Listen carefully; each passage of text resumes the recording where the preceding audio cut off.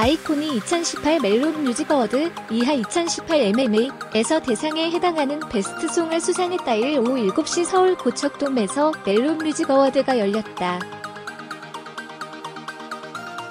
아이콘은 곡 사랑을 했다로 대상에 호명된 후 눈물을 흘리며 서로를 안으며 감격했다. 비아이는 사실 감사한 분들이 많은데 그 분들의 이름을 여기서 다 부르기에는 시간이 모자랄 것 같다고 말했다. 이어 제일 감사하고 미안하고 사랑하는 사람인데 따로 연락할 수 없는 아이콘이 팬클럽명에게는 진심으로 감사하다고 말하고 싶다고 덧붙였다. 비아이는 이런 기적 같은 상과 아이콘에게 있어서 말도 안 되는 순간을 만들어준 것은 팬들 덕분이다라고 밝혔다.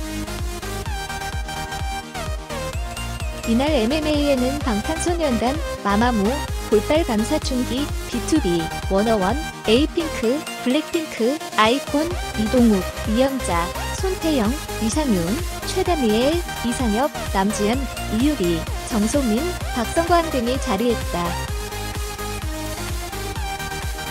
서울뉴스 1